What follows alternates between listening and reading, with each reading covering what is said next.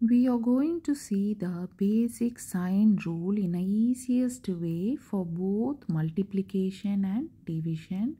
So to solve this, we are going to see with some examples. So first we have to note a point for both multiplication and division that when two digits have the same sign, it will be a positive number. Okay. So when it has a different sign for both digits, then it will be a negative number.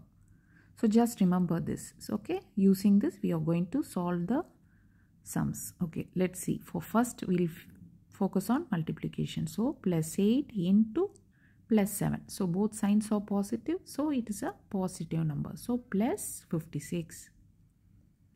Next, plus 8 into minus 7. So different digits minus 56.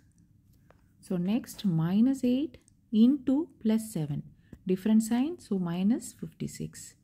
Next minus 8 into minus 7. Both have the same sign so plus 56. Okay. Next we, we will move on to the division.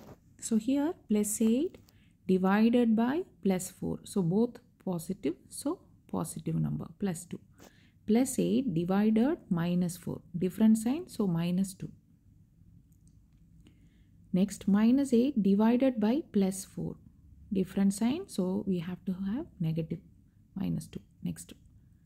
Minus 8 divided by minus 4 same sign so we will have a positive number. So we have to put plus 2 so we can solve it easily in this way